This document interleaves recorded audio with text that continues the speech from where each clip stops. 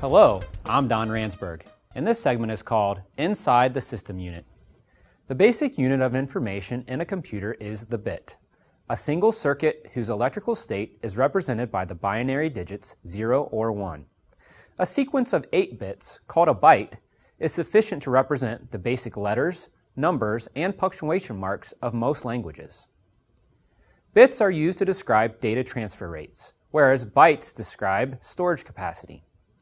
Common transfer rates are kilobits per second, or kbps, megabits per second, or mbps, and gigabits per second, or gbps.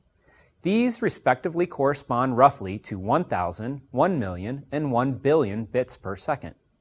Common storage units are kilobyte, KB, megabyte, MB, gigabyte, GB, and terabyte, TB.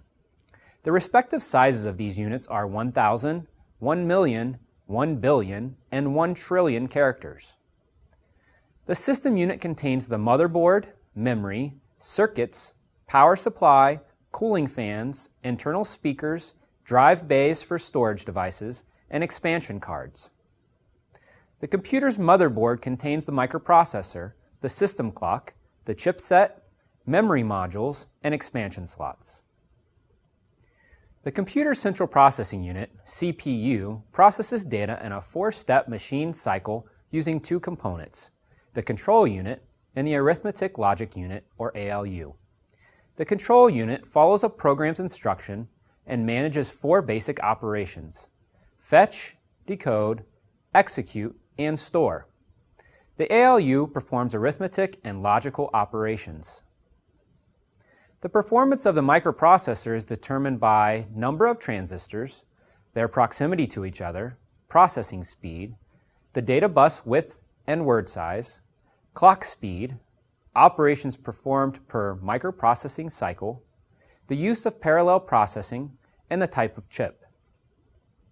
The computer's main memory, random access memory, or RAM, holds programs, data, and instructions currently in use for quick access by the processor.